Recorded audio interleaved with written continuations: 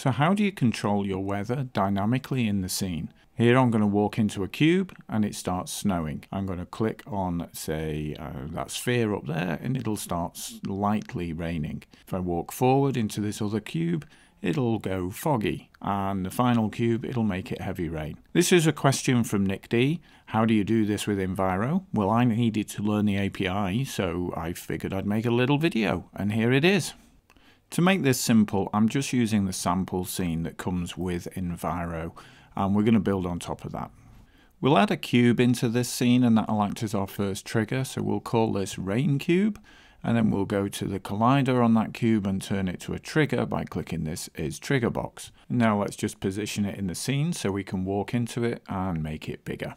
Now we're going to need some scripts here, so we're going to create a folder for my content, which I'll call uh, weather controller tests. This is just to keep all my stuff together and ordered. It's just a habit of mine. Inside there, I'll create a scripts folder. And then inside of there, I'll create a C Sharp script. Now, Nick did say that they're not very good with uh, C Sharp, so I'm going to go fairly slow as we work through this. So that script that we've created called weather controller is a mono behavior, which means we can drop it onto our rain cloud and then open it up inside of our preferred editor, which by default is Visual Studio. Now it's good practice to put everything inside of a namespace. So you type something like namespace in my case Wizards code, you can put whatever you want there. And this is about Enviro extensions, so I'm putting it inside there and then wrap everything in curly braces. Now if you really know nothing about coding in Unity, there's a link up above to a great tutorial, but we're just going to delete the template text that appears in here and work from there. Now you'll remember that we created the box collider that had a trigger on it. So we can use that by implementing the onTriggerEnter method here. Now I'm using the autocomplete in the editor because I've been coding for a long time. If you are a bit clueless, um, don't worry. It's easy to learn this stuff. Check that video that I sent earlier, but also pause the video so that you can see the, the actual text being written. Now I want to first make sure that we are actually triggering this method. So I'm just going to put a debug log in, which will make something appear in the console for me. And I'm just going to say there has been a collision with the other collider. Uh, oh, sorry, that should be other rather than collider, which is this parameter passed in to the method. So what should happen here is when something triggers that trigger on our box, it will call this method on the mono behavior attached and print out a message in the console. Now for this to work, we need to ensure that our player, let's rename this object to player, has a rigid body, which is already here, the rigid body is here, and it also needs a collider, which exists already here. So we'll click on this little edit collider button and that shows us in the scene view what it looks like. Looks like it's a bit too high, it might go over the boxes. So let's add a capsule collider. And we'll make that 2 meters high and uh, let's say 0.2 meters or 0.3 meters wide, or radius rather. And we're going to want to drop it down a bit so it's below that existing sphere collider. Not too far down, just make sure that it's intersecting with the ground. Okay, looking good. Now we're going to collide with our triggers. So let's hit play and try it out. Walk over to our box and yep, there we go. There's our message in the little bottom bit there and also in our console window, as we can see here. Now we're ready to actually control the weather. So going through to the Enviro documentation, we can see there's a section on the scripting API. So we'll click through here to the weather section and we can see that we can get the weather, but we can also set the weather either with a transition or without a transition. We're going to use the one with a transition, so let's grab this command here and drop it into our code. Now let's spend a moment just understanding what's happening here. We have our Enviro Sky Manager, and we're going to grab an instance of that. So that is clearly the manager that we are seeing in our Unity scene. And then we're calling a method called change weather, which in this case is receiving an integer ID for the weather ID. So where does that weather ID come from? Well, if we go over to our editor, we will see inside of our Enviro Sky instance that there is a list of weather prefabs here. And that ID comes from those. So it starts at 0 and counts down 0, 1, 2, 3, and so on. So all we have to do is go back into our code and add the ID we want. Foggy is 5. Let's try that, should be easily visible.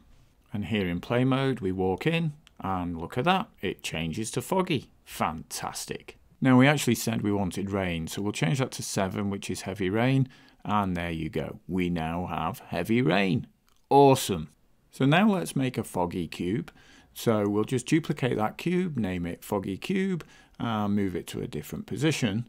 Now that we have it there, we can walk into it, but we have a bit of a problem now because they both have the same setting for which weather preset is used. So what we need to do is we need to create a parameter that is configurable on each object. So we're going to create a public int and call it weather ID. Now, this is the lazy way of doing it. I'm just going to show you this way first. I'll show you a better way in a moment. Um, but this is a good start. So we're going to use weather ID instead of the hard-coded ID that we had before. And now in the inspector, once it's compiled, there is a weather ID setting. So we can set that to 5 on the foggy uh, uh, item, and we can set it to 7 on the rain item. And if we hit play, the results should be two different cubes with two different weathers. And as you can see, it works perfectly. Outstanding. Now, I mentioned this was the lazy way. Um, it's bad programming practice to make these parameters publicly available unless you actually need them. But it is the way most people make the parameters available in the inspector. You can spend just a few seconds and improve your code significantly by using the serial serialize field attribute. that enables you to take the public scope off. It'll still appear in your inspector just as before, but now you have cleaner code. I also recommend that you get into the habit of always providing a tooltip. Now, tooltips that don't say anything useful are just annoying, but a missing tooltip is just as annoying. You'll need to remember what you did with the parameter, why it was there. So here we're adding a tooltip in that says the idea of the weather preset. See the EnviroSky instance for available presets. That should remind you six months from now, or it should give your co-designer a clue, or whatever it is that you're doing. Always spend a few seconds doing this. It will pay off, I promise. Another improvement we can make here from a game design perspective is to add a new field in that is going to have the purpose of allowing us to provide a preset rather than an index into an existing preset. And this will enable the designers to just create new presets and drag them straight in in the inspector. So I'm starting out here using the serialize field and creating a tooltip to explain what's happening. And this tooltip is going to be quite detailed. It's going to say um, that if this field is null, then we will go on and use the ID above. But if this field is filled in, it will take priority over the ID.